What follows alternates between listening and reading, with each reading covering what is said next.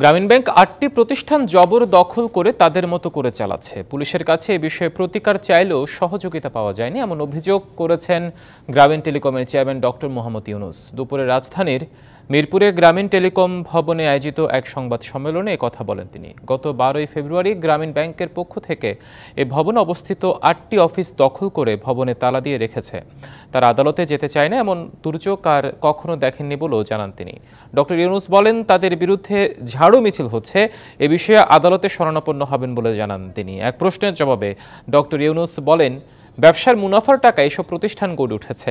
গ্রামীণ ব্যাংকের টাকায় হয়নি, যা হয়েছে আইন মেনে হয়েছে বলেও জানান তিনি। ঢাকার মিরপুরে গ্রামীণ টেলিকম ভবনে ডক্টর ইউনুসের ষোলোটি কোম্পানি রয়েছে যার প্রতিটির চেয়ারম্যান ডক্টর ইউনুস। এক মিনিটে নগদ ইসলামিক অ্যাকাউন্ট খুলতে ডায়াল করুন চার ওয়ান সিক্স সেভেন হ্যাশ। হঠাৎ চার দিন হলো এখন তাই না?